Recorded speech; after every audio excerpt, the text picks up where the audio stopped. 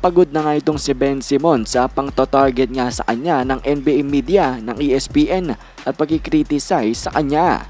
Sabi niya, there was a clip of me airballing a shot at the park. Meanwhile, like 10 guys airballed multiple shots. It's like people will find one clip and try to make it that everything. Like Ben can't do this or that. Like come on man, you think I'm just airballing every shot? Meron nga kasing isang video clip na nakuhanan itong si Ben Simmons na na-airball niya nga ang malapit na jump shot. At ang ESPN mga idol, ginawan pa ito talaga ng segment. Ginawan pa ng 5 minute and 47 second na video. Samantalang meron ding mga video clip na itong si Ben Simmons ay nakakashoot ng mga 3-pointer. Kaya nga mga idol, parang sinabi ni Ben Simmons na tigilan nyo na ako, pagod na nga daw siya. Dahil palagi na lang sa mga kaunting move, galaw, neto ni Ben Simmons sa kaunti niyang pagkakamali ay palagi na lang siyang kinikriticize. At tama naman siya dyan mga idol. Practice lang ito mga idol, shoot around, shooting lang. Pero ginawan pa talaga ng segment ng ESPN para lamang i-criticize itong si Simmons. ba? Grabe nga talaga. Kahit maintindihan natin itong nararamdaman ni Simmons ngayon. Lagi na lang siyang parang tina-target. At para nga sa ating next balita, itong team ng Golden State Warriors nga daw talaga ay hindi sinuspende on purpose itong si Draymond Green para nga makasama siya sa ring celebration sa ring night ng team ng Golden State na kanilang ang gagawin sa first ever NBA game nila this season laban sa Lakers.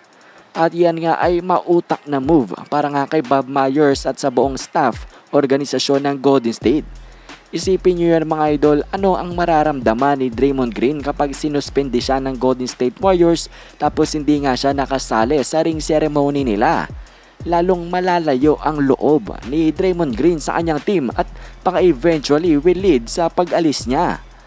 Kaya nga magandang move na hindi na lang siya isuspinde para nga hindi na mas lalong sumama ang loob neto ni Draymond Green at possibly magstay nga siya sa Golden State.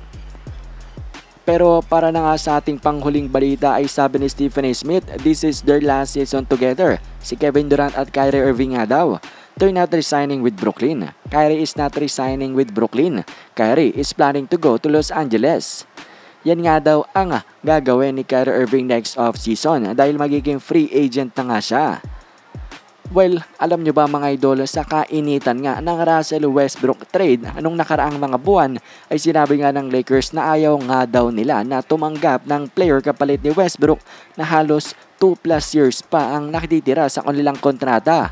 Gusto nga nila ng 1 year na lamang na player at magiging free agent next season para nga magkaroon nga daw sila ng salary cap for next season, next free agency.